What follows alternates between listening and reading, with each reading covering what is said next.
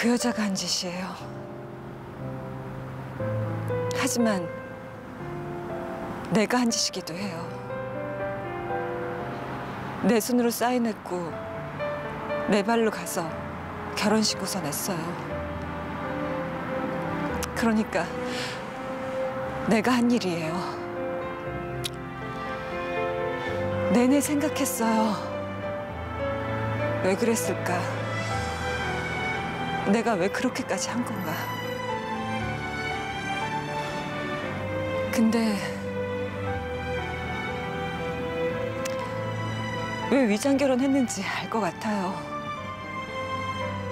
그렇게 시킨 건 그 여자지만 결국 선택한 건 나예요. 왜 그런 선택을 한 건데요? 엄마 때문이요. 내가 결혼신고서 작성한 날이 엄마 태어난 날이었거든요. 그때도 그 방법밖에 없었나 봐요. 왜 그렇게 몰렸는지 모르겠지만 엄마 때문에 내 손으로 결혼 서류 낸 거예요.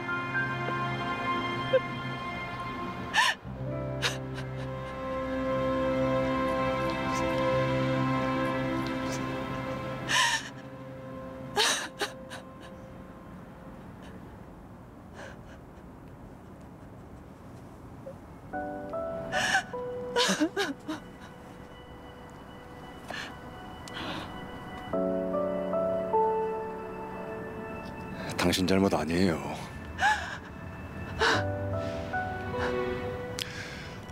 내가 본 하진 씨는 늘 열심히 살았어요. 그때도 그렇게 열심히 살았을 거예요. 실수했다고 해도 잘못 선택했다고 해도 그렇게 만든 사람 놔두고 너무 자책하지 말아요.